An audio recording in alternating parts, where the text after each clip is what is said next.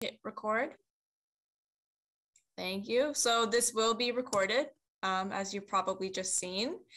Um, but welcome everyone to supporting and understanding the behavioral health needs of our Asian American, Native Hawaiian, and Pacific Islander service members, veterans, and their families. Next slide, please. Um, to get us started, um, we're going to be having a federal welcome from our partner, Stacy Owens. Uh, Stacy, the floor is yours. Thanks so much, Chantel. Uh, hello, everyone. I'm Stacy Owens, Military and Veterans Affairs Liaison for SAMHSA. And in honor of Asian American, Native Hawaiian, and Pacific Islander Heritage Month, we're so pleased to partner with our um, SMVF Center to bring to bring you this call on supporting the behavioral health needs of SMVF who are AA and HPI. Um, we know that this community is culturally and linguistically diverse, and we also know that there are commonalities like traditions of leadership, uh, resilience and courage. And we're so happy to have this great group of subject matter experts who are AA and HPI veterans themselves, as well as advocates for the SMVF community. Uh, we appreciate all four of them being here to teach us about best, best practices to support the community. And we also thank all of you for taking time out of your busy schedules to learn more about this important topic. So I will turn it back over to you, Chantel. Thanks again. Thank you, Stacey. Uh, next slide, please. All right, so my name, for some, some of you may already know it, uh, is Chantel Boudreau. I'm a project associate with SAMHSA's SMVFTA Center, um, and I'm gonna be moderating today's call. Next one, please. Um, so just a disclaimer really quick. The views, opinions, and content expressed in this presentation do not necessarily reflect the views, opinions, or policies of SAMHSA, HHS, or VHA, um, or the U.S. Department of Veteran Affairs. Next slide, please. So I'm gonna go over some housekeeping really quickly, um, and then we're gonna do participant introductions, have our presentations from our four wonderful presenters, um, have opportunity for Q&A, and then we'll do some next steps and adjourn. Next slide. So for the housekeeping, um, whenever you uh, ask a question, please identify yourself, whether it's in the chat or um, if you're speaking out loud. Um, when you do raise your hand, if that's the way you wish to speak, please wait to be called on. Um, you can also ask questions in the chat, as I mentioned previously. Um, please make sure that you are muted, whether it's your computer speaker or your phone speaker. Um, and please be respectful and keep others in mind. Next slide, please. So for participant introductions, um, we have a lot of people here today. So for time, we ask that you please introduce yourself in the chat. Please give your name, title, agency, and then if you're representing a governor's challenge team, a mayor's challenge team, a crisis intercepting mapping team, we want to know. And if you're not, that's fine. Welcome. Um, please put your state or territory in the chat so that we know where you're coming from. Uh, next slide, please. All right, and so the moment of truth. I am introducing the presenters for today. Um, so I'm just going to read a very abridged version of their bios because um, I know we want to get to hear all the content from them. Um, but so Amy, Amy Au, Amy's father is a refugee and her mother is an immigrant. She enlisted into the Army right after high school and served for four years on active duty with the 1st Cavalry Division at Fort Hood, Texas. Miss Au was elected to be the first female commander at the Boston Chinatown American Legion Post in June 2015. In 2019, Miss Au was selected as the transitional patient advocate in the post 9 11 military to VAMC program. This unique role allows her to interact with service members and their loved ones transitioning from the military back into the civilian community. Um, our next presenter, Roy Gamboa, um, he's the vice president of Got Your 671, which is a nonprofit veteran organization on the island of Guam. Uh, GY671 is dedicated to helping veterans in Guam regain self confidence, develop a strong support system, and improve their overall well being, both mentally and physically. GY671 is the lead partner on Guam for the Together with Veterans program, which enlists rural veterans and community partners. Mr. Gamboa is a lifetime member of the, of the VFW, 3rd Marine Corps Division Association, Guam chapter, and is the local coordinator for the Irreverent Warriors organization and works on numerous projects with other veterans and nonprofit organizations. Uh, next slide, please.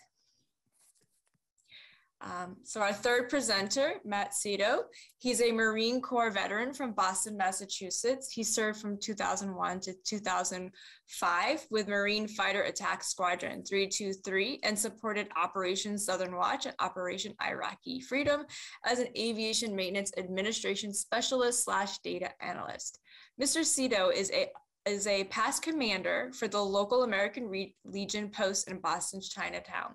In 2018, he partnered with the Chinese American Citizen Alliance and Walking Capitol Hill to advocate for the passage of the Chinese American World War II Veteran Congressional Gold Medal Act to recognize the more than 20,000 Chinese American World War II veterans. The bill, the bill was signed by the president in 2018. In 2019, he partnered with the local chapter of the Chinese American Citizen Alliance and co-organizing the New England regional ceremony for the Congressional Gold Medal.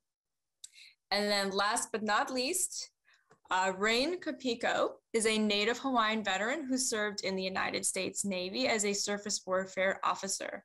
Upon discharge, Mr. Capico recognized the difficulties of the veteran communities firsthand.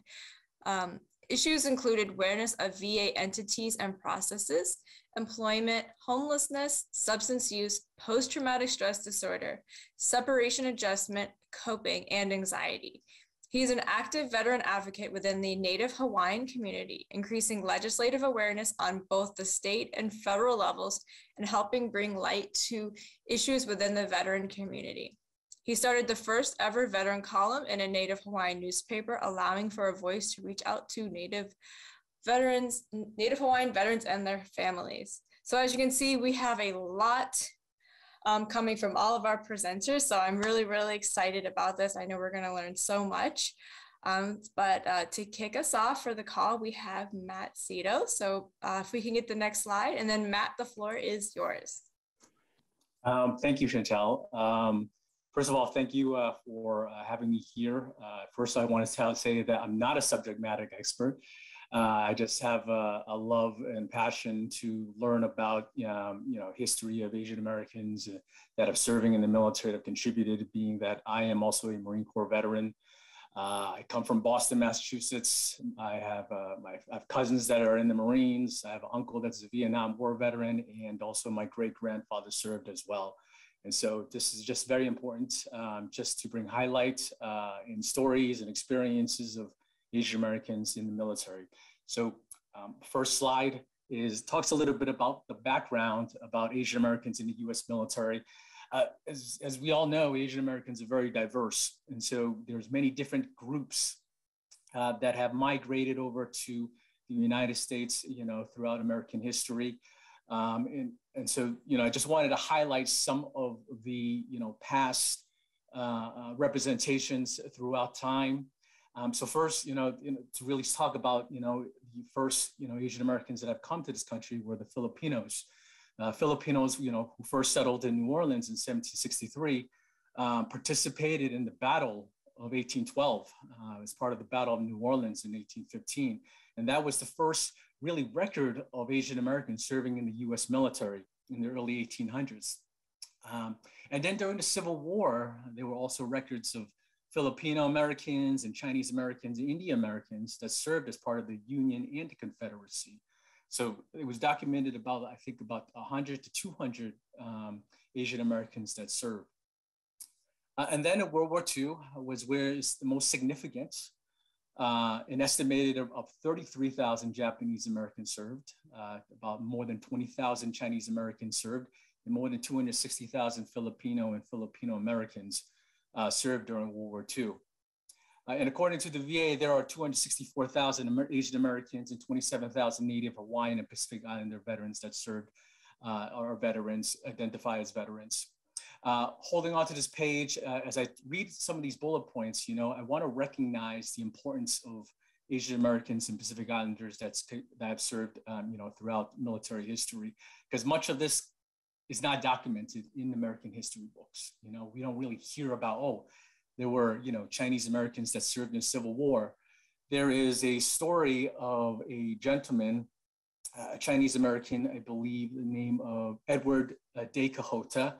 Um, too bad I did not have a slide for him, but he, he came on board a ship uh, to the United States when he was a kid, and he served during the Civil War.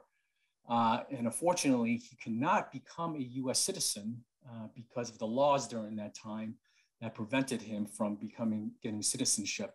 So that's very important to recognize that, you know, even though there were Asian Americans that served, um, a lot of them were not able to uh, become and assimilate into the American, you know, US society.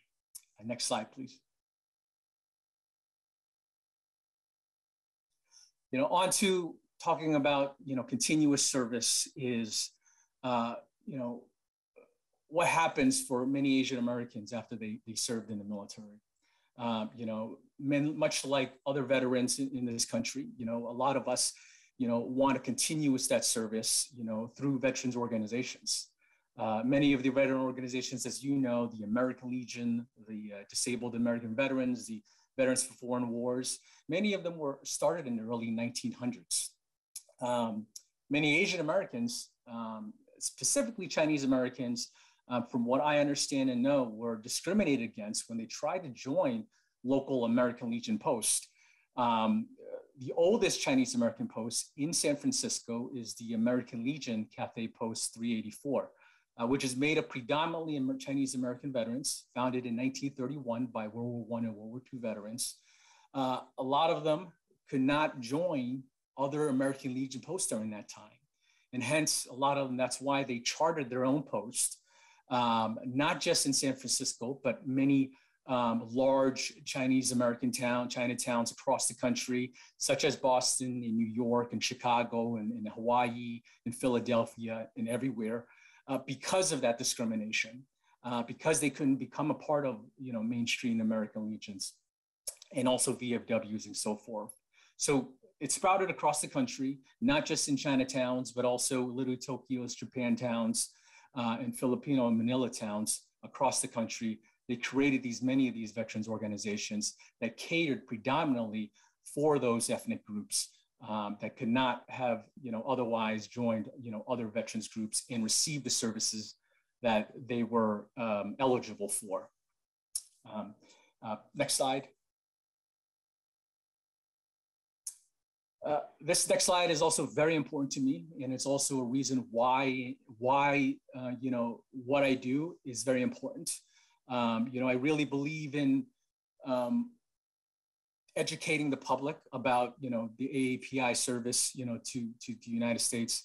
Uh, it's important to recognize and, and understand their their contributions, and I really wanted to highlight uh, three important events that really recognize um, you know, AAPI's service, specifically during World War II.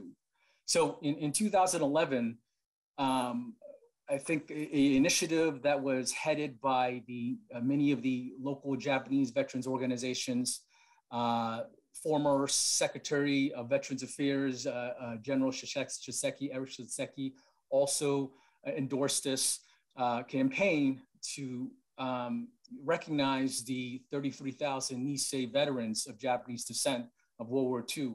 Many of you know of the 442nd Regimental Combat Team, which is considered the most decorated unit for its size and shape during World War II. Um, you know, in, in many of their families were interned, you know, uh, during in internment camps across the United States. Despite of that, they still served Many of them paid the ultimate sacrifice. Um, and finally, in 2011, they were awarded a Congressional Gold Medal, which is the highest recognition uh, award bestowed by Congress, which is very important uh, because during that time, you know, uh, you know, th- there were still a lot of things going on uh, in terms of how our country was, you know, acted and reacted towards Asian Americans. And then in 2007, 2017, uh, Filipinos uh, veterans were also being recognized. Campaign that was headed by a, a General Tony Taguba of the United States Army, you know, really believed that, you know, we needed to recognize the importance of Filipino and Filipino American veterans' contributions, the more than 260,000 Filipinos that served during World War II. Uh, during World War II, the Philippines was a, uh, a colony, a territory of the United States.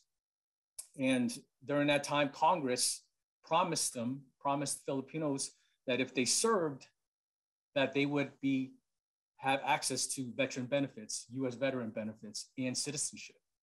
But unfortunately, after the service, after the World War II ended in 1946, uh, Congress passed the Rescission Act, which revoked veteran benefits and payments to Filipino soldiers and denied them US citizenship.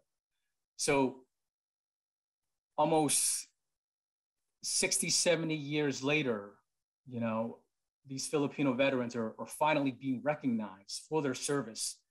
And another campaign happened where called the, I believe, the uh, uh, Filipino uh, Education Act uh, that fought for Filipino veterans benefits.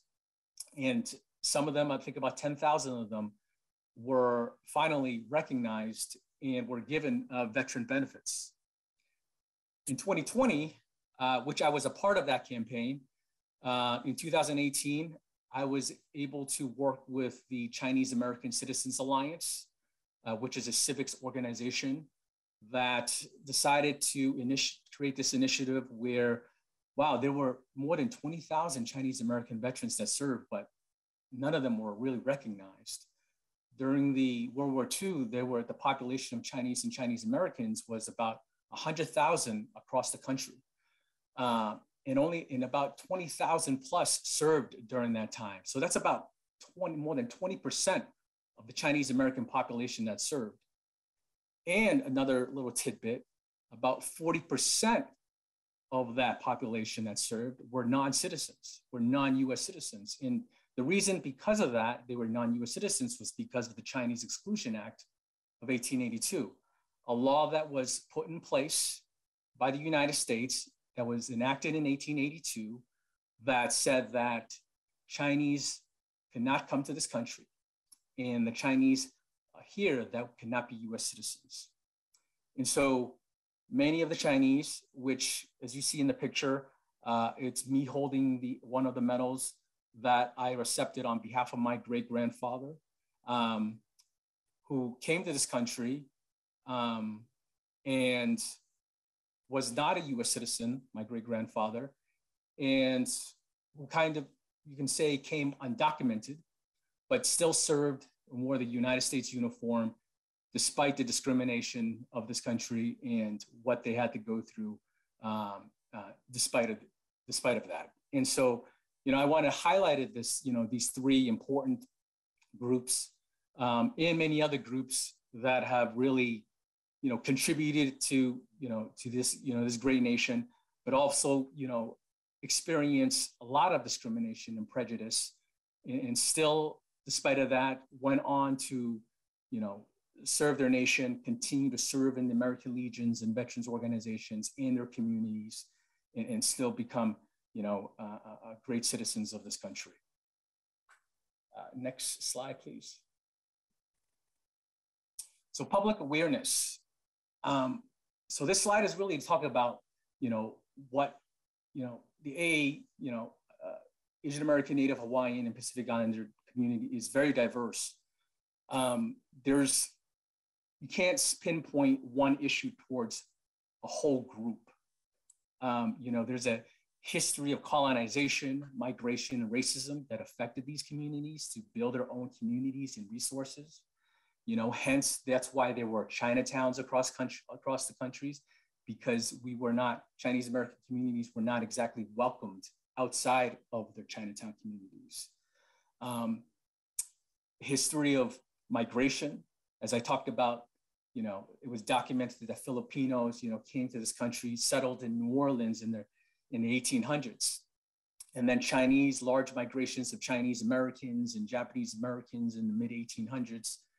So a lot of them came at different times that have brought histories and experiences and experiences themselves that, you know, change the dynamics of, you know, their story in their communities. We are still fighting stereotypes. Uh, many of our experiences counter many microaggressions and a need for assimilation. And, and what I mean by that is, um, you know, I speak from my own experience.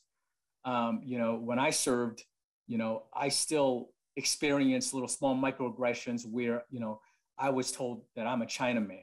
You know, my friend who was also in the Marines, who was of Vietnamese descent, um, one told me a story where his drill instructor, you know, told him like, "Oh, what are you going to do after this tra- training? Are you going to go back to you know train your VC comrades, your Viet Cong comrades?" So you know those type of remarks, you know, are still you know within you know many of Asian Americans that are still serving. You know their experiences and stories, even despite you know their service and what did they have to prove that they are Americans.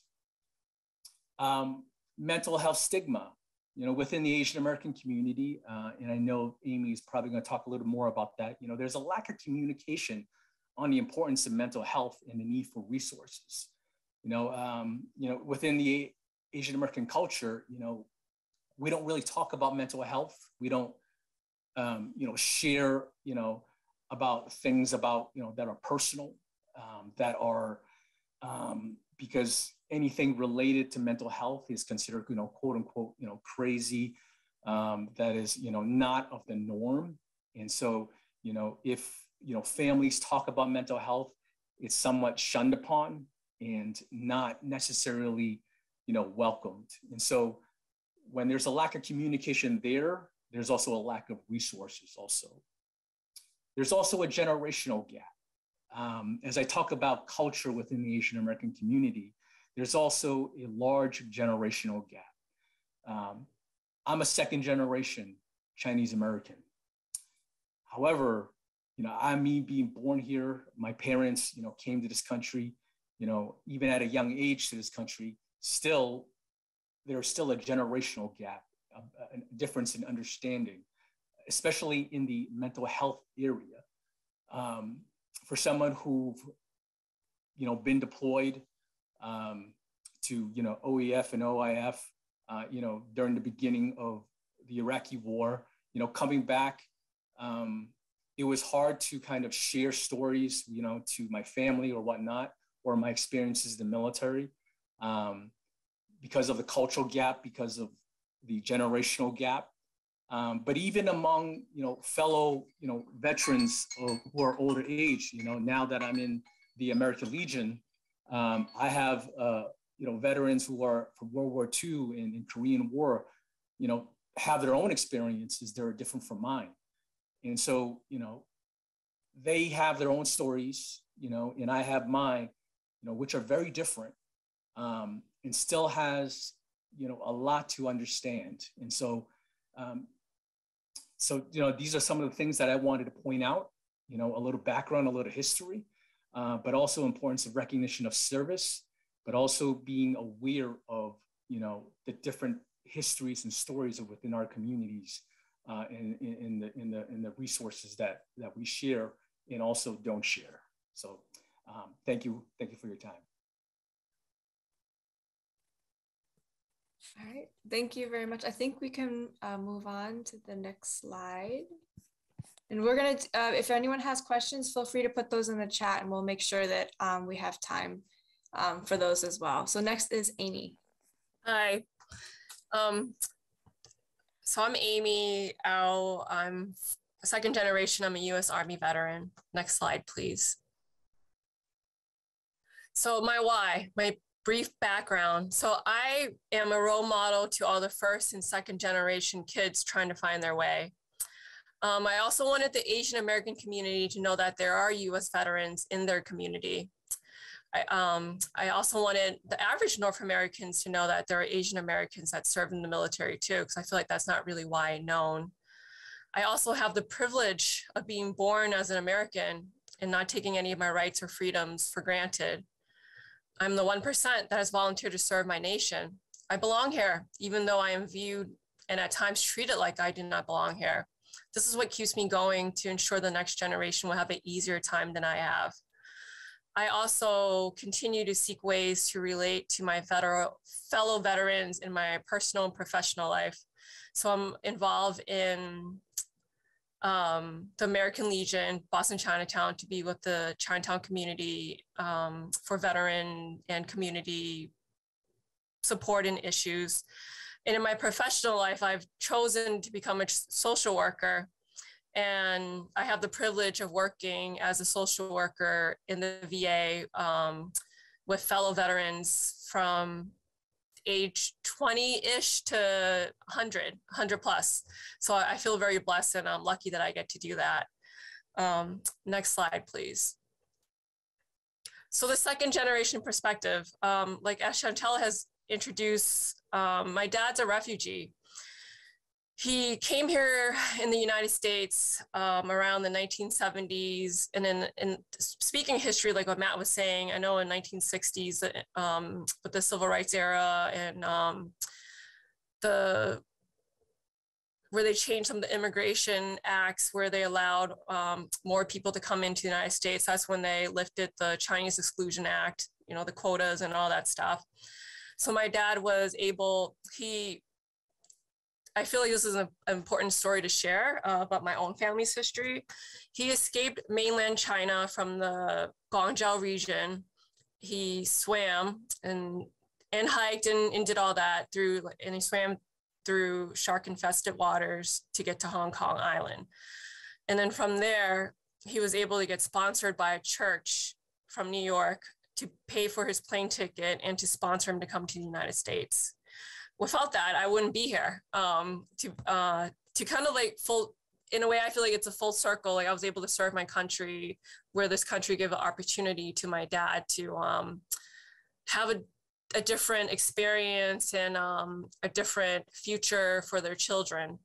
Um, and then he went back later and met my mom, and they married within a month. And then uh, she talk about a self-arranged marriage. So then, so then they came to the, they came to the United States and had me and my four sisters. So I was actually the firstborn in the U.S. from my mom and my dad's side. So I had to grow up fast. You know, I was uh, the um, interpreter, navigator of systems, local, state, federal government, meaning um, for uh, benefits like either if it was uh, field assistance or um, SNAP benefits or helping my parents um, enrolled in different programs to being interpreters for my siblings or in school. So we kind of um, talking about the generational um, hardships, you know, for you know, I'm supposed to be a kid, but now I'm I'm doing adult role for my parents. So, but I didn't have the privilege of the gap year, you know, like I and I'm generalizing, right, of the typical American culture, you know, like saying that teenagers have a gap year from high school to college to find yourself or to figure things out. There, there was no such thing in my family. It was either you get a job or go to college. What are you going to do? You got to do something. You can't just be hanging out. Um, so, and I feel like my parents pushed that so we wouldn't have the hard type of work that they had to do when they arrived here due to their limited English or limited um, credentials that people were looking for. So I chose the military to escape, to escape um, just the stress from my parents, uh, the cultural demands from my um, family. And, and it was also a way for me to set myself up for success post military. I grew up very low income, very poor. Um, it didn't feel like it, but looking back now, I know it, it, we were. Um, so I knew there was no way that my family would be able to help me pay for college or um, or even secondary training or schools or anything like that. So I, I knew that was an opportunity for me. So I was always and still sometimes I feel like this continue. Um, I'm in a space of in between. I'm not fitting in anywhere outside the home. Um, I, there was American culture, you know, like all my friends were like, oh, we're going to the movies, we're going to go hang out. But I had to go home and take care of my sisters um, growing up. And at home, we had to speak Cantonese, no English. Um, and I think that's a way for my parents to make sure we keep our culture. And also for, for themselves, they didn't really speak English. So make sure they had ways to communicate with their children. So I enlisted in the active army when I was 17 years old. My parents allowed me to take the ASVAB test and go through the intake process. I am and was still the only person in my immediate and extended family in the United States that have served in the US Armed Forces. Next slide, please. So my active duty um, veteran um, female exper experience perspective um, coming from my short time in active service. So East Asian culture, particularly Chinese culture, it mimics the hierarchy of the military structure. Everyone knows their pecking order. Everyone knows their role. Their role. If you're um, your rank, enlisted officer, you do not speak until you're spoken to. And being a Chinese American or a Chinese female, um, grow, growing up in a very uh, a male dominant culture, there wasn't, you know, I didn't really get to express my mind growing up or say much um, or anything like that. Uh, my dad always had the final say. So, but thankfully, it wasn't like that in the military. You know, I still had a voice, um, but it was depending on how how much I can use that voice depending on my rank while I was in the service. So, I mean, I still had um, it wasn't as suffocating, I guess. Um, maybe that's not a good word, but that's what it felt like growing up in my household. So, like I said earlier, I, I felt like I didn't belong anywhere. So, even being in the military, I didn't feel like I belong.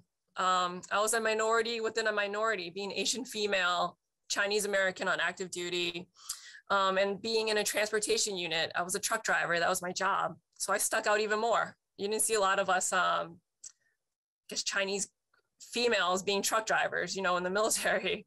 So, um, so there was racism while in active duty, microaggression, such as where are you from? Questions. Oh, you speak English so well. Oh, you're from Boston? No, no, no. Where are you re- where are you from? Where are you from? I'm like from Boston. You know, you know, it's just questions like that. You know, where were you born? You know, I'm like Boston. Still wasn't satisfied, right? They're just trying to find a, a pigeonhole where I belong. So that stuck out. That came from my superiors to en- enlisted, you know, that microaggression, that experience. And I had things, I was called Chank, Gook, Viet Cong from um, fellow soldiers, um, random, you know, people on posts, um, things like that. And I also experienced sexism and um, military sexual trauma. And that military sexual trauma, it's a big umbrella from sexual harassment to um, um, rape. But I experienced like unwanted touching, groping, um, daily sexual innu- innuendos from peers and superiors. So that happened. And this was like the early 2000s. So I'm saying it's not that long ago. Um, that, and, and, I know in the recent news, there's um, maybe not like Fort Hood, that's where I was stationed at, all the all the sexual harassment um, things, cover up stories, um, and if you talk to other people that served in Fort Hood be, before my time until now, that's still happening. So it's not um, it's not uncommon, but you do feel really isolated. Like I didn't have a lot of um, people or peers that I can look up to. I didn't really see a lot of um, higher ranking Asian um, male or female in the service that I can feel safe to go to and talk to about these things. Um, so that was just a small glimpse of my service and of that that I experienced. But there were good things too. You know, I made a lot of good friends, um, lifelong friends in, in my service. So I don't want to paint it like it was such it was all negative. So there was some there was good experience too. I wanted to also um, share that. Um, next slide, please. So this is another topic that I feel is important um, in the Asian American community. At least I can talk about it in the community that I live in and what I see. Um, so gambling addiction is a problem in the Asian American community. And I think this goes back to what Matt was mentioning earlier about lack of mental health support or stigma of getting mental health support. Um, so gambling, it lights up the same pathways as cocaine does in your brain. So it releases dopamine, dopamine, you have a rush of feeling good for a little while. And then you all, the person that experienced that always tries to chase that high. So in my experience, um, there's a lack of community spaces in Boston Chinatown. And what I mean by that, it's unless you're in a family association or um, belong to the YMCA or or something like that, right? You don't really have a place to go because every because real estate is so valuable. Everything is either a restaurant or um, a business of some sort. There's every corner now. There's like a bubble tea shop in Boston Chinatown if you visit. But um, so there's it, there's those type of things. There's not really like a, um, a community space to really go to, and and a lot of it is time constraints.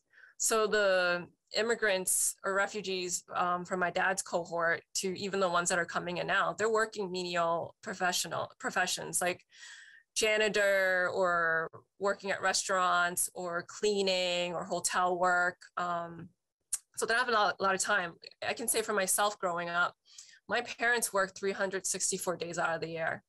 The only day they got off was Thanksgiving because they worked in um, a Chinese takeout um, restaurant that's the, the least busiest day for them. So that's the day they close. So it's only only time I had my both sets of my parents at home with all of us one day out of the year. So that's what there's like a lot of time constraints. Um, and they um, for my family. So gambling is a social activity.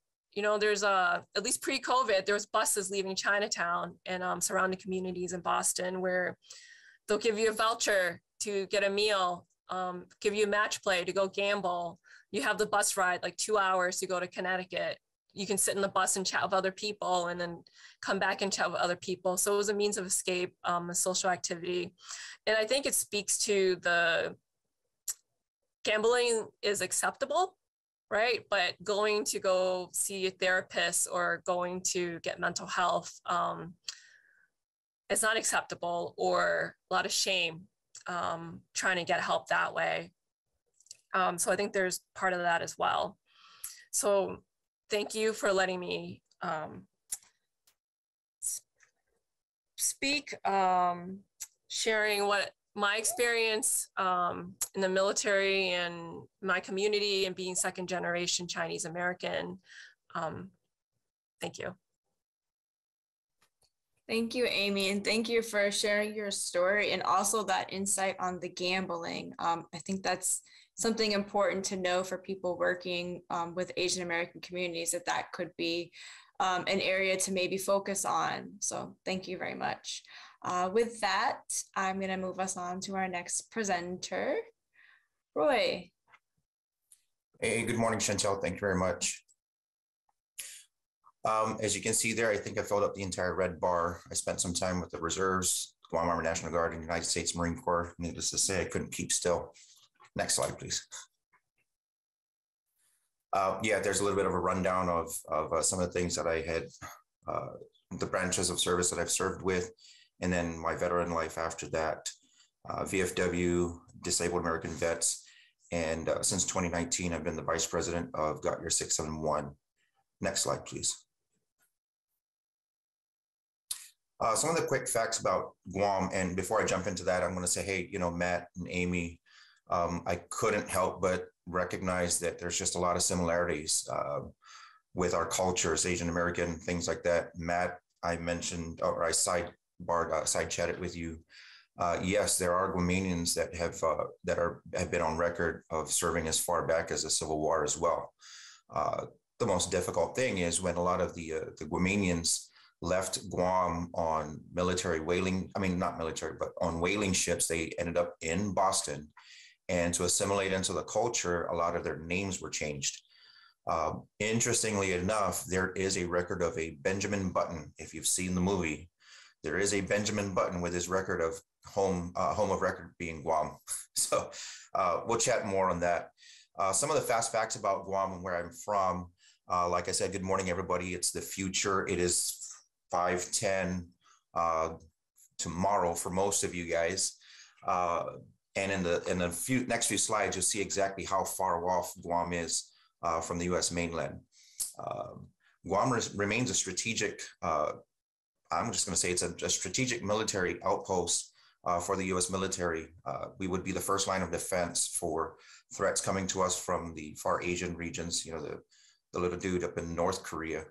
Um, Guam is home to 16,400 military dependents and soon to be 4,000 plus Marines uh, and their family members making their way to Guam. Uh, for, I'm going to say, close to 20 years, uh, Guam has maintained the highest enlistment rate. Uh, Amy sounds very familiar. We wanted to get away from our very strict parents in some instances. And so at 17, just like you, raised our right hand and said, All right, I'm off. Um, here on Guam, we have a major challenge, and Amy touched a little bit on it as well. Matt, um, it's doing some research. I think it has a lot to do with pride. Uh, 30,000 plus veterans, and only about 8,000 are recognized by the Department of Veterans Affairs. Severely underserved uh, with the hospitals and clinics and things like that. Um, and in the most recent wars to, from uh, OIF, OEF, uh, more than 20,000 of the residents of Guam have uh, deployed in those operations. Next slide, please. Um, I'm going to jump right into it. I'm, I'm, typically straight down to business type stuff. I'll talk a little bit more about myself in the few uh, in the next few slides. Some of the biggest concerns that we have out here on the island of Guam, uh, the mental health treatment centers, uh, there is none. There is no inpatient treatment. Right now, we've got soldiers, sailors, Marines that actually have to fly out to Hawaii and spend months on end to go through the PRRP programs. Uh, there is nothing existing here in Guam. Uh, when I put down revolving door um, every couple of years, uh, there seems to be a rotation of uh, mental health care providers. And so it's, you can imagine what it's like going through that system, um, receiving some treatment, things start to improve, and then you receive a new uh, therapist. Uh, and then you peel that scab and you have to explain your entire story all over again. Uh, the primary care providers, um, they too as well have a revol- revolving door issue. Um, it is not easy to, to, to make a living here on the island of Guam. Things are expensive. We have to get everything shipped in. So cost of living is high. Um, and it just makes it very difficult when veterans are expecting to change their primary care doctor every couple of years. Um, I know the VA system is working on improving uh, the facilities out here. I believe they're expanding the CBOC. Um, but however, even during the groundbreaking, it was already identified that the, the clinic outside the uh, Guam Naval Hospital, the U.S. Naval Hospital, uh, just wasn't going to cut it for the many number of veterans that are out here. Uh, we get our prescription medications mailed in to us from Hawaii. Uh, so you can imagine if, if uh, some veterans are losing track of uh, the pills that they have, if they don't go into the system to reorder their medication, we could go days or even weeks um, without medication. Uh, it used to be where veterans and retirees would be able to just access the U.S. Naval Hospital base and just pick up our prescriptions there. So hopefully, some of those things are start to get get addressed by the uh, the Department of Veterans Affairs. Next slide, please. Uh, again, more of the concerns that we have out here. Uh, you'd think on a small island it would be very difficult to find homeless veterans. Uh, unfortunately, they are out there. Um, the last uh, point in time count that our community uh, was involved with just before the uh, pandemic identified 40 uh, veterans living out on the streets.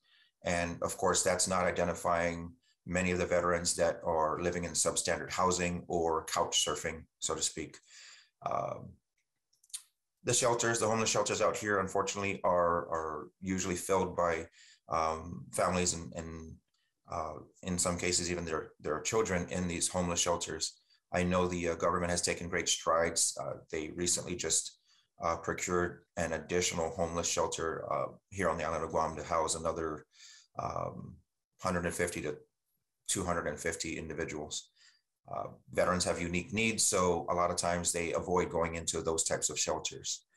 Um, Guam at this moment, uh, the VA system falls under uh, Hawaii. I believe the budget is handled and controlled by Hawaii. Uh, so a lot of things have to get approved. Referrals and all that stuff have to, has to be sent out uh, to Hawaii for, for approval. And this can take days, weeks, uh, and in some cases, even months. I know There are signs of improvement. However, these are some of the issues that have been plaguing our island veterans for, for many, many, many years. Uh, and in the next uh, slide or so, I'll show you exactly why uh, that is a challenge. One of the things that we are hoping for here on the island is, is uh, if we can't have a hospital, at least double the size of the CBOC uh, to help provide more uh, care as far as mental care, mental health care, and primary care for our veterans. Next slide, please.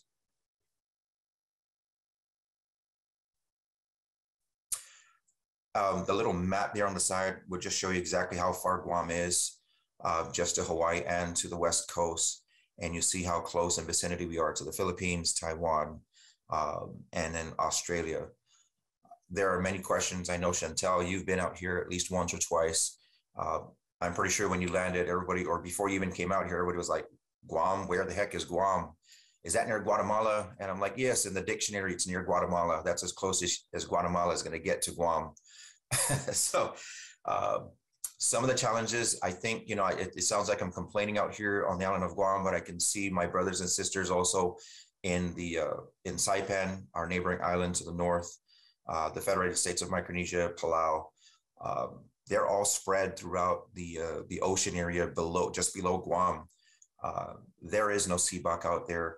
There are no mental health treatment facilities out there. Uh, those veterans have to travel to Guam and in some cases out to Hawaii and the US mainland.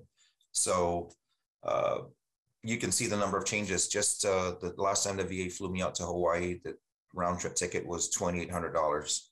Um, that didn't include room and board when I was out in Hawaii. Um, and one of the biggest gripes, I believe, if you're from the territory, is yes, we can go serve, raise our right hand, take a bullet, but we can't vote for our president. Hopefully, someday somebody's going to scream loud enough and make that happen.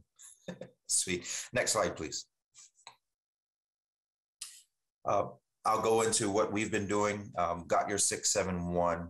Uh, even prior to that, one of my uh, cousins who served with the uh, with the Army National Guard deployed to OEF on a couple of occasions. Uh, we recognized each other, the services that we had done, and found that the only person, the only people that could understand us were veterans that were that had similar experiences, and we had helped each other each other throughout the years um, in really bad times, really dark times, and uh, and having a discussion one evening, we said, look, there's got to be a lot more veterans out there that are going through the same thing that we're going through, and uh, we decided to just you know put our heads together, uh, create the uh, create our nonprofit organization. We brought in, uh, or we had our initial meeting with other veterans women veterans, different branches, and what was supposed to be a one hour meeting turned into a three hour, um, what Marines call sweating from the eyes uh, fest. Uh, lots of stories that were shared, a lot of similarities and a lot of pains that most of us thought we were the only ones going through it uh, alone. And we recognized right, we realized right away that no, we're not alone. We have very similar stories, and we need to bring people together uh, to share those stories uh, we can't just live in that darkness, that shadow, so to speak. Um, Chantel talked about our mission, and we we see there's a need for our organization because there's a lot of veterans that uh, go through the VA system or seek help from uh, grant providers that have so many federal requirements in order to qualify. And in our books, you raised your right hand, you need help, we'll find ways to help you out. Um, we've done this by doing um, basic needs drives, veterans that are homeless, getting tents, um, bringing them into shelters. We had a gentleman, uh, homeless veteran out here from Florida who had been trying to get back to the Philippines.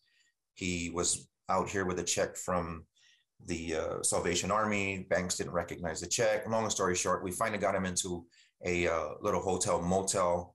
Um, we are changing his his uh, uh, we are finding somebody locally to manage his his uh, 100% dis, uh, disability compensation to manage his money for him um, and get him back on back on his feet.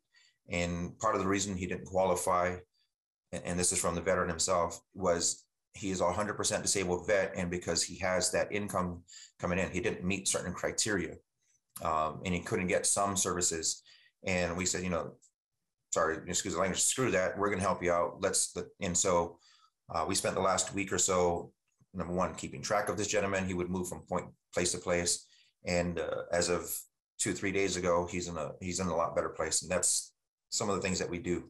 Um, we don't just stop at the veterans. We work with family members because we recognize some of our spouses and kids that we had left uh, during deployments. They had to hold down the fort, and they're just as important as our veterans. And so we have uh, some of the um, women veterans that are with us, their spouses join in our meetings. We have our discussions to kind of understand a little bit more about some of the issues that we're going through and why we do certain things when we're at home. Uh, next slide, please. Uh, so one of the things that was started by a, a fellow Marine um, is something we call Battle Buddy Talk, and it's a weekly uh, it's a weekly discussion uh, that initially started online, where we would send out a Zoom link and we would tell everybody, "Hey, let's just come in, talk story," um, and we would share ideas, we would share topics. And for me, that's taking place tonight. And uh, so, a few days before the uh, the Wednesday night meetings, uh, we'll we'll share ideas and say, "Hey, look, the topic for this evening is, uh, for instance, you know, anger." Um, what are your triggers? How do you cope with it? And and then we always, I personally try to make sure we close with uh, ways to um, provide tools uh, to the veterans and their family members on how to deal with, with certain things. Try to look at the positive uh, whenever we leave these meetings. Uh, and, and a lot of this was founded, um, again, with just veterans talking amongst each other because there's a sense of trust from other veterans knowing that we've been down the same path or similar paths uh, in our in our military history, and so we tend to trust each other. And um, in my visits to the therapist up at the CBOC, um, of course, at the end of my meeting, you know, Doc would say, "Hey, are, aren't you part of the GY six seven one group thing?" And I'm like, "Yes, I am." And she would say, "You know, can't name any names, but there are quite a few veterans um, that have been discussing or sharing with them um, the Battle Buddy talk." And so she would thank us because uh, it makes it a lot easier for the veterans to open up to the therapists. And uh, a lot of the pushback that we would get from veterans is, I'm not going to talk to him or her. Uh, they don't understand who we are. They're not veterans like like uh, like we are. So why would I want to do that? Why do I want to share? Why do I want to spill the beans? And with some of those very challenging veterans, we tell them, look, you don't necessarily have to do that, but you've got to take at least the tools. These guys are the experts. Use the tools that they're providing to you. They'll help. Whatever they share with you, share with us. Um, and what we can do is we can work on that. So we discuss everything in a group, and then we stick around for another hour or so, just talking one on one with uh, people with very similar uh, experiences. Uh, we do have a preface saying, you know, look, we're not therapists. We're here basically just to discuss and uh, we do have social workers that show up. We have many people from all different walks of life come in and provide input. We've got active duty members that come out and seek help from us. And uh, we have the guardsmen that come out to uh, sit down and talk with us as well um, because they're fearful of going to the chaplain or fearful of seeking uh, psychological help while they're still wearing the uniform in fear that it's going to hit their records. And with us, it's look, man, you're just talking to, to a bunch of friends uh, you're talking to a bunch of um, veterans that have been where you're currently at, and you can talk to us. There's nothing recorded, uh, and we're just here to help you, uh, you know, get through those challenging days. Next slide, please. Uh, just a real quick snapshot of the community involvement: 5K uh, runs. We do hikes. Uh, the day before Memorial Day, we're going to be putting our country's flag and, and our island's flag at the highest point um, in the world if you measure from the bottom of the Marianas Trench. so we'll be hiking up there this Saturday uh, to replace a flag that was actually put up there uh, a few months ago by a YouTuber who uh, planted the flag by a geomarker indicating that that was the highest point um, from below sea level. And uh, following up a few months later, some other gentleman went up there and the, ta- the flag was torn and tattered. Um, a friend of mine, my camera just went out. Okay. Okay, I'll keep speaking um, until I can figure out my camera. Um, anyways, we're placing the flag up there. We're going to bring something up. We're going to bring a metal flag and mount it to the uh, the monument that's up there at the top of the hill. Uh, what we've done is we've worked with the Guam Veterans Commission, which is comprised of about 17 uh, veteran organizations here on the island of Guam. And uh, we've been able to, as of at least 12 months ago, stop the bickering between all these veteran organizations and actually started to guide them towards a unified goal to, to, to, to let the government know hey, we make up a huge majority of the voting population on this island, and you've got to listen to some of our issues and, and, and a lot of our concerns. Um, I believe a lot of elected officials, government officials have kind of just been scratching their heads only because they'll hear from one veteran organization saying, This is what we want, uh, this is what's important to us. And another veteran organization will report something completely different. And so we're unifying that voice to make sure a lot of these uh, uh, government officials know, hey, these are our priorities and please focus on that. Uh, the last top, the last item there is uh, Guam Economic Development Authority. We applied for a grant uh, a little over than a little more than half a year ago, and uh, the grant allowed us to purchase three tiny homes for homeless veterans, and we were able to afford these three tiny homes with a very small budget because the purchase the, the home the, the company we purchased them from is a veteran-owned small business who was kind enough to give us a uh, basically um, 50% off on the purchase price of these tiny homes. And where we are going with this is for many years, numerous organizations have been promoting to the island of Guam, hey, we're going to build this huge veterans community project with uh, pool and walking areas and multi-story buildings and, and yada yada yada multi-million dollar project. And that's been going on that that's been a discussion for 16 years at least. Um, that's like me trying to eat basically everybody says right you're eating the elephant in one bite. What we're trying to do is we're going the uh, on the ground approach. Let's start with these three tiny homes. We have already been invited back to the uh, GEDA grant to apply for the same amount of money and we'll be able to con- uh, add three more tiny homes and uh, I've already been in discussions with the administrators of, uh, sorry, the government officials. The island of Guam is uh, going to be leasing a 102 acre property from the US Navy to build a hospital. The government initially only wanted 52 acres. And what we're eyeing is to get at least four to five acres to build this veterans community project with a fellow veteran out in Kansas. Spoke with him. They've been in existence for about five years uh, they've put these tiny home. Um, well, let's go to the next slide. I believe I have a photo. Um, next slide, please.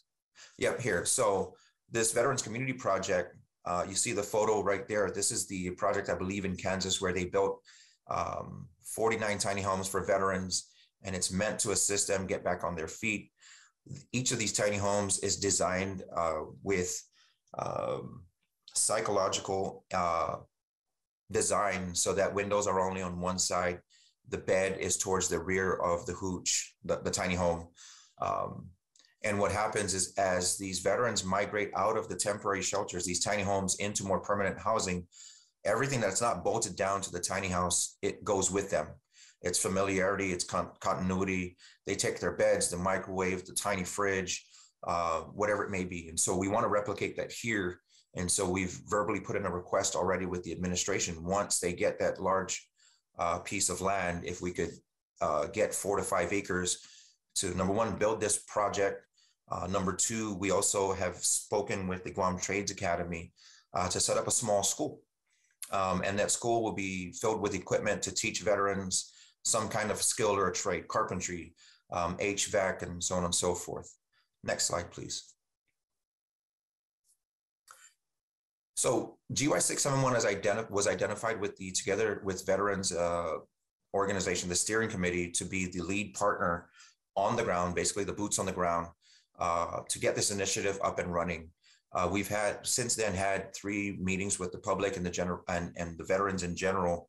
And the way my my my impression of the whole thing is the VA saying, "Hey, look, you know, who better to speak to and and lead things in uh, veteran organizations that are on the ground that know their community uh, to lead and, and help reduce suicide, help um, bring more awareness to uh, of PTSD out into the, the public. And both um, Matt and Amy talked about pride being, and, you know, it's without saying it, you know, I, I did some research, and, and pride has a lot to do with our cultural um, identities. Uh, going on with that, you know, and I'll, touch on that in a little bit. The TWV program, the initiative here, basically is veteran driven. Um, the collaboration part there is bringing a lot of the community agencies and organizations into the same room. There are very similar uh, goals and missions that the Guam Behavioral Health and Wellness Center has. Um, uh, the VA, the CBOC, we all have similar goals to help reduce suicide and things like that, but we're not talking to each other. And that's what TWV is, is allowing us to do. Next slide, please. Okay. Um, and again, so these are just some of the tenets, the strategies that we're trying to work with uh, the community. Uh, there are many veterans that serve with the Guam Police Department. And one of the ideas is to provide these police officers or first responders with Under Armour shirts that has a big word veteran printed right across the front.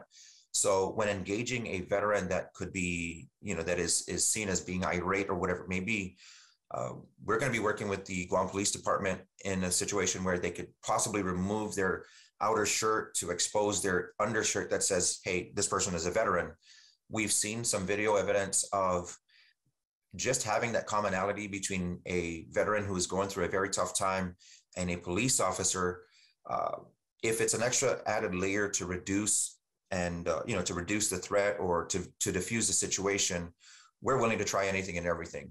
So that's just some of the things. The Guam Behavioral Health, we're working with them to create a hotline where um, trained veterans can talk to veterans that are willing to speak.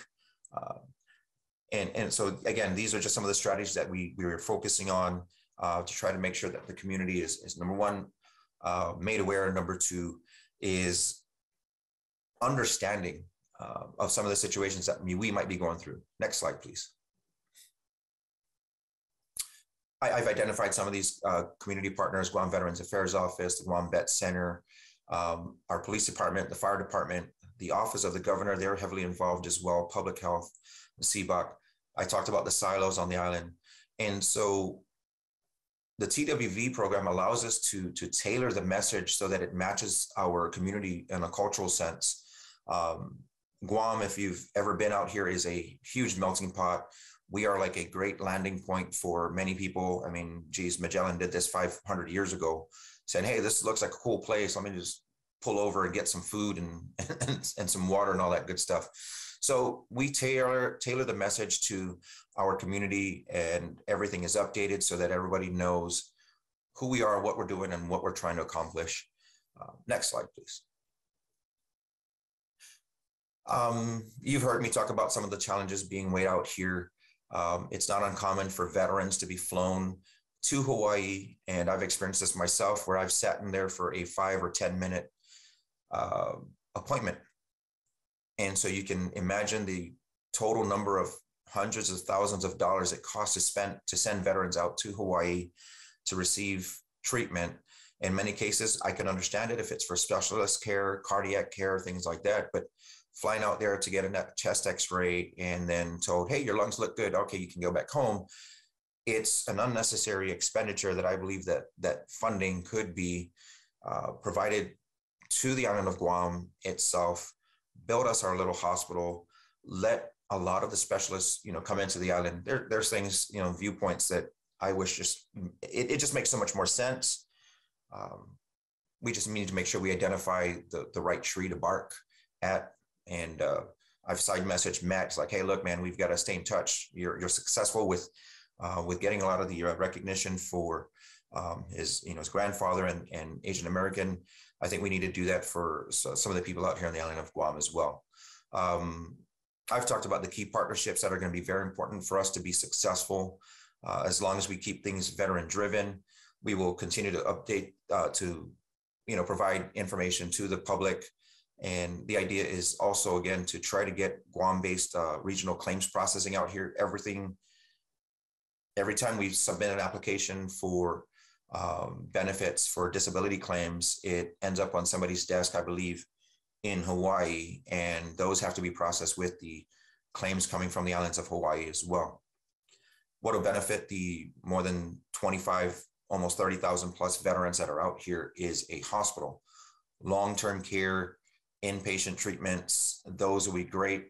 Uh, one of the big goals with our Together with Veterans program is is identifying to the Department of Veterans Affairs, not just in Hawaii, but all the way up to DC, letting them know, hey, look, there's no inpatient treatment centers.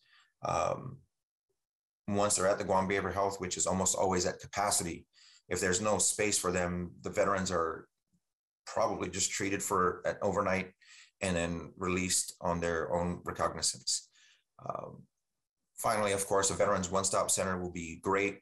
Um, it was brought up in our Veterans Commission meeting that uh, veterans still have a little bit of a confusion as to where to go and what to do.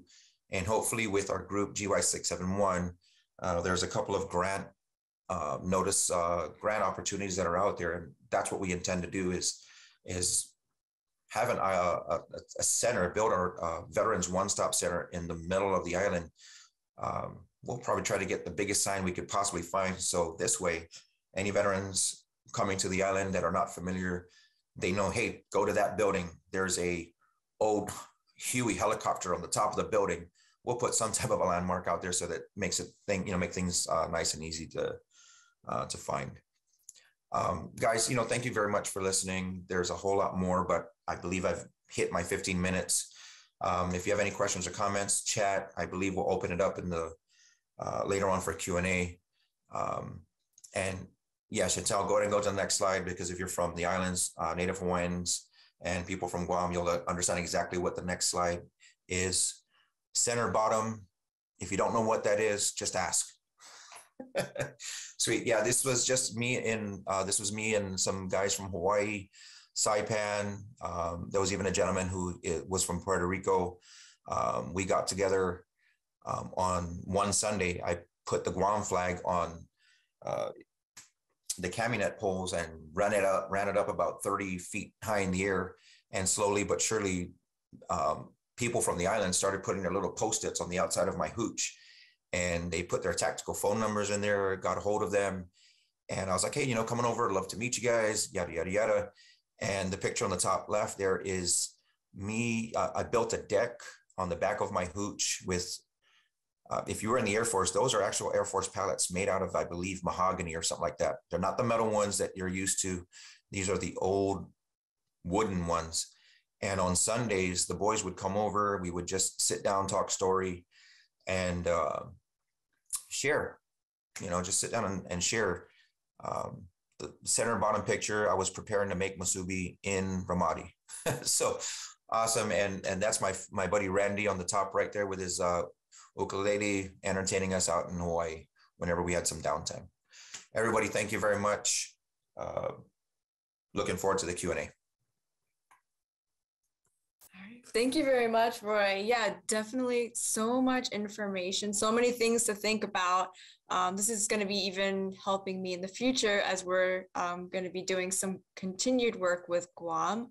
Um, and I also will mention so we've had some discussions, and you mentioned how another reason you started your nonprofit was it seemed like there were no veteran organizations that didn't center around alcohol on Guam.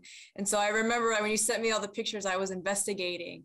Um, and sure enough, um, you didn't have anything in there, so that was good. Um, but I'm just, I'm, it's great to know that there's somebody really thinking about the mental health piece on the island and making sure that people can have fun without having to have that focus around alcohol, which I noticed was a strong factor there.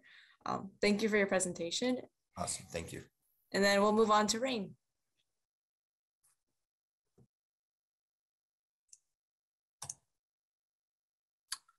Perfect. Thank you, Chantel, um, for the generous introduction earlier. Um, similar to Matt, I am not a SME, but just a passionate advocate and member of the community. Um, I'd like to thank SAMHSA for putting this on. Chantel, Stacy, Dwayne, your team behind the scenes. What a great event. I really enjoyed listening to everybody's stories, um, listening to the hard truths that are being brought to light of what we as minority people endure or have endured. And um, very similar to what Roy said, you know, this is not us complaining. It's just us bringing to light of what is. Um, yep, the views I have are my opinions and is not a representation of the state of Hawaii or the VA. This is just what I am seeing and endure, enduring as a community advocate. So next slide, please.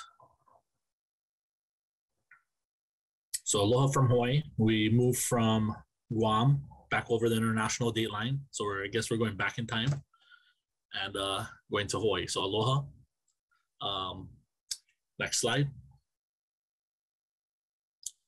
So my name is Ren Kalpiko, uh, Native Hawaiian, uh, many other ethnicities um, that I have as well. That's just one of them. Uh, I'm a Naval Academy grad, surface warfare officer, Navy veteran. Um, went back several times, used my uh, GI Bill, got some education.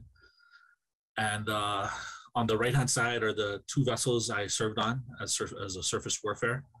And interesting enough, um, my first vessel, the USS Wasp, if we were to go back in the USS Wasp's history to the very first USS Wasp, because this is a third ship to bear the name, the very first one had the very first Native Hawaiian to have participated in an American conflict in the War of 1812. Um, it was Prince Ume Ume, and uh, it's very neat to see that link in our histories uh, together. Uh, next slide, please. So a part, a big part of um, this is understanding the cultures of the people and understanding what what these cultures, how they view things, and how they interact inside of together. So like the Native Hawaiian culture, we come from a warrior culture um, with very warrior values of strength, um, things of that nature. Um, so th- those in the culture, like even to this day, um, in the more native rural Hawaiian communities, uh, values of strength and fighting are still very highly um, seen and um, just valued. So uh, this picture shows a Native Hawaiian warrior pre um, pre-contact, and on the right is uh, another Native Hawaiian warrior who is a SEAL operator, uh, or who was a SEAL operator today. Um, next slide. So what we have seen is for all of us that have presented, we all have to be somewhat of a historian to better understand of where we've come from to where we are. So for this, like I said, uh, Hawaii's arrival, we the Native Hawaiian people came to Hawaii 300 AD, settled. We had our first European contact in 1798, introduced to gunpowder. And one of the uh, gentlemen that were there at the contact recognized the importance of gunpowder, went on, took that to his advantage, and was able to unify all the islands um, with the help of uh, foreigners um, by 1810. So it's very interesting to see the parallels of Hawaii's history and American history. So shortly thereafter was the uh, War of 1812. Um, next slide. So to recognize um, where my people are at, the Native Hawaiians, looking at a just a general population graph. So currently we are coming back up to 300,000 people in my community and majority of them are mixed race. Very rare will we find a full Native Hawaiian.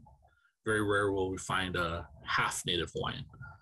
Um, so at 300,000, that is something uh, just to keep in mind of what I am dealing with amongst my community. Um, next slide. So moving forward to Native Hawaiian veterans. Um, I wanted to talk about what current veterans are facing today and uh, what we have endured. And, you know, um, going back to the whole reason the VA was founded, was founded because of the Civil War veterans and taking care of them. We had a, over 100 documented Native Hawaiians that participated in the Civil War. Um, that was 100 years before we became a state. Um, it was very interesting to see our link to that. And we fought on both sides of the Civil War. It's not like we took one side specifically. Um, next slide.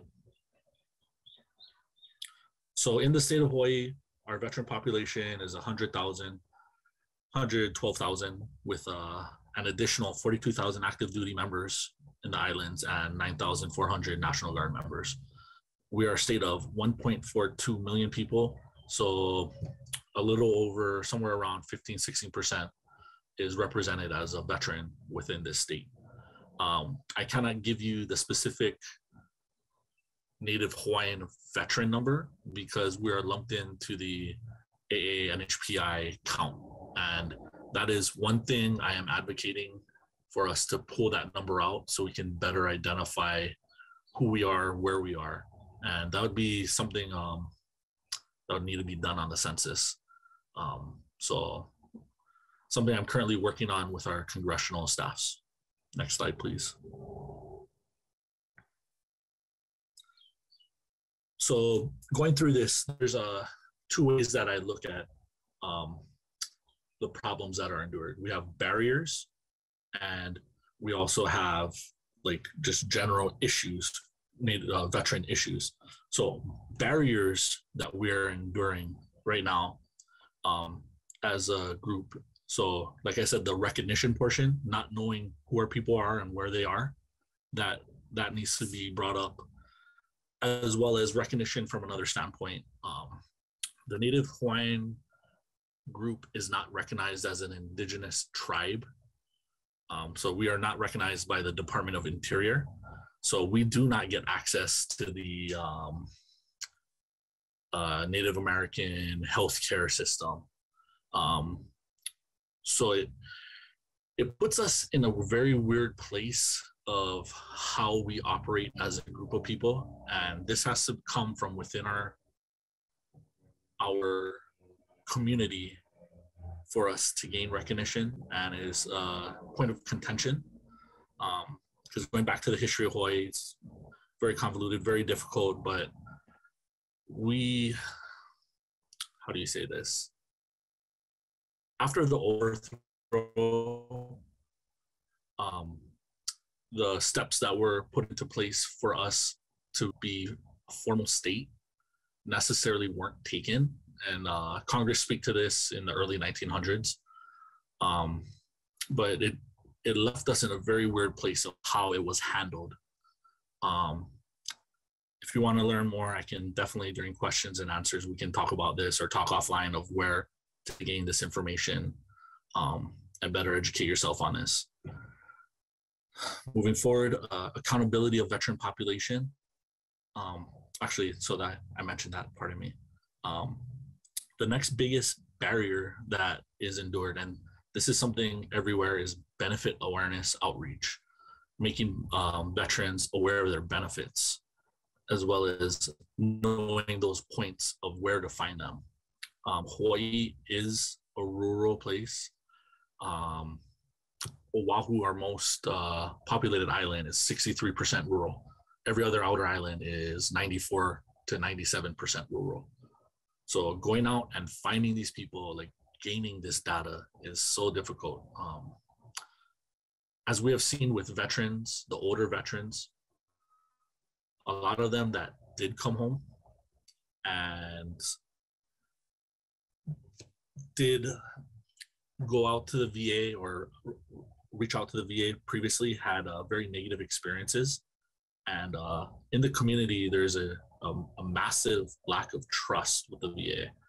And that's something that needs to be rehabilitated because um, right now there's a lot of disenfranchisement amongst the community and a lot of veterans just look at dealing with the VA as a waste of time, uh, definitely for the older generation. Um, so it's winning them over. And um, I've employed strategies to help gain buy in through uh, speaking to their children, speaking to their spouses, um, of bringing them back to the VA and uh, looking for those entitlements that they rightfully deserve and I've been very successful in using those strategies. Um, just it's it's a very hard thing um, dealing with people that just have no trust. Um, as I mentioned, rural Hawaii, rural Hawaii, there's a lot of places that don't have internet, that don't have TV, that survive off of water catchment and might not have electricity. So finding these people is very difficult, as well as some of these veterans who have mental health problems. They know how to live in the wilderness, and I, I know of pockets of them that do live in the wilderness and survive um, off the land. And every so often, they might come into town to resupply up, and then they're back out into the wilderness. So it's it's a community thing to to find those gentlemen, but they are out there and do exist. I I used to have a gentleman that worked for me, um, and with the uh, CBA of his union, he was able to go a year out a year. He could miss a year of coming to work and still be a member. So every three years, he would disappear for a substantial amount of time, just go into the wilderness, find peace with himself, and come back um, so it's it's it's a problem that does exist. Um, access to services that was a big thing um, that we just heard from Roy. Guam, they have to fly here to Hawaii. The outer islands in Hawaii have to fly here to Oahu. Um, inpatient, there's only one inpatient clinic that services, and even that at that, depending on the specialty treatment you need, you might need to fly to the mainland. So these are just uh, barriers that are real. Um, next slide, please. So speaking to that, so Oahu, the island with the red dot, that is the current hospital, VA hospital. Um, the blue dots represent the uh, VA outpatient clinics, but most of them only provide partial treatment. They they're not they're not meant to take on large issues or or have special specialists. Um, and this is a problem. The island of Molokai just had their outpatient clinic, the um, service provider closed. So there was a, a time here where we were working with groups on island of trying to figure out and make sure that there was no drop on service provided. Um, to our veterans in those areas. Um, specifically, that island has per capita one of the higher Native Hawaiian populations. So that was um, uh, for the Native Hawaiian community a, a very big deal. Um, luckily, they were able to figure out and have another healthcare provider step up and fill the gap. But there was a lot of questions on how the transition would happen and would it be smooth. And um, yeah, back to Roy's point of of service providers, uh, the VA specifically, having turnover. That is a major thing here. Um, one of the directors that manages operations, he's leaving. He just got here like three years ago and he's doing a great job.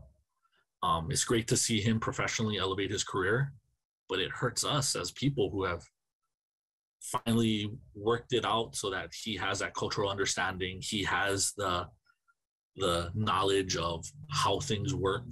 Because when you move to a new post, whether you're a doctor or somebody in in the um the VA, like coming to Hawaii is a very unique place, just as any other place around the nation. So like learning those little things of how things work, who to go to, who are the community people to talk to, um, it takes time.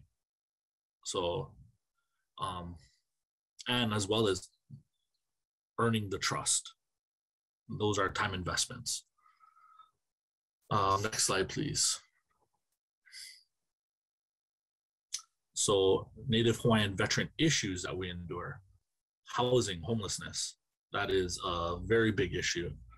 Um, our state does do a point in time count and I believe at the last point in time count in 2020, we had 6,000 homeless. 500 of that were veterans. And those are the people they can find. In the, the rural areas, as I mentioned, there are people that are near impossible to count. Um, but it has been getting better with the uh, services provided. I have been working with our local um, VA homeless um, department, and th- they do a great job. Um, we have on this island alone, we have one outpost um, where they are working with uh, U.S. vets, and is a very successful program. They have just contracted out another program in uh, one of the more rural areas on Oahu um, to provide more services, um, more beds for veterans. Um, and that just happens to be in an area that is predominantly native. Um, I guess the concerns are the outer islands of them getting very similar opportunities to provide those services, which right now really don't exist to a standard that um, I guess it should be at, um, as well as the culturally, we are people that um, don't like taking. Like, I was speaking to one of the uh, Outer Island um, VA homeless reps, and she was telling me that culturally, there, there's a problem with the community where a lot of the Native Hawaiian um, members don't want to take don't want to take too much. They want others that are in worse situations than them to have the opportunity. Um, so she has a real hard problem of those that do come to her getting their buy-in to get into these programs, not for a sense that they don't need it. It's for a sense that they're they want people worse off than them to take to receive it. So she she uh, did explain that um, that is her barrier that she's working with, um, as well as a cultural another cultural barrier. Um, we come from the village mentality. Um, we have this thing called Ohana Ohana laws, Ohana housing laws, where you can add on additions in our communities because usually um, you live multi-general households in Hawaii. And um, with that, we have these multi-general households that are providing housing for their family members who are living on the couches or living in sleeping wherever. And technically, like if you look at the uh, HUD definition, like it does fall into like a category of homelessness. If you're bouncing from house to house on a couch, that is technically homeless, um, and is bringing to light these definitions to the community members so that these guys can fall into applicable categories um, so they can get the federal help that they need.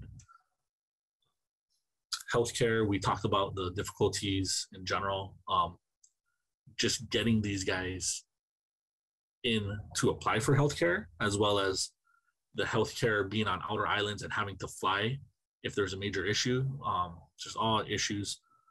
Uh, mental health, uh, that is a big, big part of what we see in our veteran population um, now, as well as our older veterans um, from Korea and uh, Vietnam. Um, and something interesting that I recently learned from a fellow vet. So on the outer islands, there's not many places for these veterans to uh, do peer-to-peer or together counseling. And um, he's a OEF veteran, and he went in to one of these places, and uh, his reception from the older veterans wasn't very pleasant. And that's just a veteran cultural thing that we need to address because uh, they were very hard on him because they see all these accesses and the reception that these younger veterans have and they didn't have the same luxuries that they received when they discharged. And um, that's something that we need to break that mentality um, internally or work on. Um, next slide, please. Um, something I've been working on. Um, the there's this thing called the Native American Direct Loan Program. Um, for those of you who don't know, it's like the VA loan for tribal land. Um, in Hawaii, there are currently 192 um, open leases through this program. And this is extremely successful and extremely helpful for Hawaii. So part of this is it has to be on um, tribal land to go through this program. Um, so America Samoa has 159. So between Hawaii and America Samoa, we hold nearly like 80% of all loans through this program. Um, and I've been working with the uh, federal VA on removing barriers for veterans to access this. Um, having spoken to a lot of Native veterans um, in this process, there are several items along the way that just didn't make sense or could be better. And the VA has been very receptive of the criticism that they received. And um, since our meeting in January, I was just reported to the other day that those criticisms were taken and they they helped remove some of those barriers of access. Um, is very important because we have 28,000 Native Hawaiians waiting for housing, and this is a program that really can offer the opportunity to those um, for financing. Um, and as we see, it is very well used. Uh, next slide, please. So pathways forward. So being being involved on the field of the field front of this. Um, I noticed that we do not have a Native Hawaiian Veteran Service Organization stood up. That's something that we need to have, um, and I think that will tremendously help our community because that that organization can provide community outreach. It can raise vet- veteran benefit awareness. Um, so as stated earlier, I, I do write in a native publication and I write about just things in the veteran community, um, like how if you have a 0% rating, you can get your ID card. Just passing this knowledge because a lot of these veterans do not participate in other veteran organizations for them to gain this knowledge. A lot of this is um, passed from peer to peer. And uh, if you're not in any circle that allows you to hear it, like you're not gonna know. Um, as well as this VSO can help with assistance for benefit application. All of us that have worked with the VA do know the difficulties of the administrative portion of applying for things, anything, whether it's a benefit or healthcare. Um, it is it is an arduous process, um, and help there would be greatly needed and uh, would greatly tremendously help move forward um, these uh, benefit needs. Next slide, please. Um, additional pathways forward would be uh, working with our congressional delegations, um, building better relationships, um, getting monies allotted um, for certain things. Uh, there are programs um, coming back to mental health. There are mental health programs here um, where there are uh, rehabilitation through hunter gatherer types of um, instances where veterans will get together. Um, there's a veteran group on the other side of the island that does it through farming. Um, they have a camp, and pretty much you're enrolled in their program and you stay there for rehabilitation um, for months on end.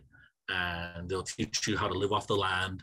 They'll teach you um, other practices, cultural practices of uh, weaving, of um, things of that nature help just bringing you back to your roots and um, through the work you're there with other veterans and while you're working you're sharing your stories uh, hearing each other's problems and then just uh, having somebody else to lean on. So it's a peer-to-peer type. Um, we do have other peer-to-peer um, uh, to help programs that were set up um, through the community. One of them was called aunties and uncles um, where other veterans who participated in conflict um, would volunteer um, pretty much to be a lending ear for those um, that are going through problems. Um, usually they would be within the area that you live and somebody that you could meet with physically and talk to.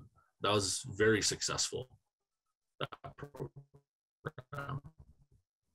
Um, we also do have a couple other programs I'm very I'm, I'm aware of um, that are grassroots within the community, um, as well as another pathway for uh, forward would be similar interest clubs, getting these veterans to participate in biking groups in um, what whatever interests there are, because there are many of those that exist in the state. Um, but I found it very interesting. We only have four or five VSOs that are recognized within the state. Um, yeah. Uh, next slide. Uh, thank you guys for your time. These are pictures of the only two Native Hawaiians to ever receive the Medal of Honor. Um, and that's another item that I'm working on is uh, bringing recognition to those of who have who have presented valiant deeds and uh, upgrading those to where they should be. Because um, we've been in American conflict for 200 years, and there's only two that have been valiant. I I find that very hard to believe. Um, yeah. Thank you. Thank you very much, Rain. Thank you for that presentation. Um, we are seven minutes over. So if you have questions, please put them in the chat and I will be sending them out to our presenters and so we can get some answers for you.